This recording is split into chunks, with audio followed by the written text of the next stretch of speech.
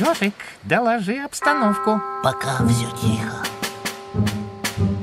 Затаился, хороняка.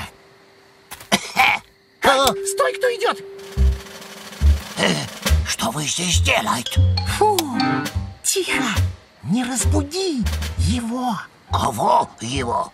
Всем известно, что по ночам из воды вылезает он.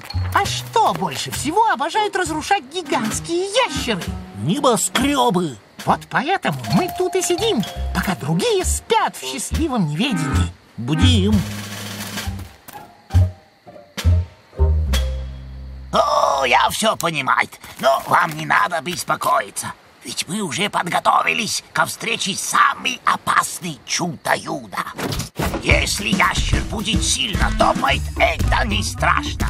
Ведь в башне есть специальные этажи-аутриггеры. Эти этажи так устроены, что могут сдерживать колебания башни и не давать ей раскачиваться.